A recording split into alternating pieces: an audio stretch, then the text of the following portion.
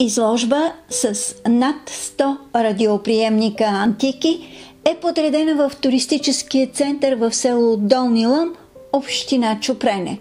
Радията са подарени на общината от софийския скулптор Илиан Бачев. Интересът от страна на туристите е голям. Поставени тук постоянно такава изложба в центъра, която всеки може да посети в работното време на центъра. Има уникатни екземпляри, които са произведени, например, ето това, са няколко бройки, които са произведени в България в малко, малка работилничка в София, около 30 години на миналия век.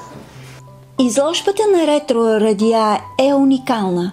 В нея се намира едно от първите български радиа – Тулан, което е в отлично състояние. Първата фабрика за радиоприемници в България е открита през 1927 година в Бургас. Извършен е ремонт на посетителския център в село Долни Лом. Покривът е обновен. Основната зала – в която е подредена изложбата, е ремонтирана напълно.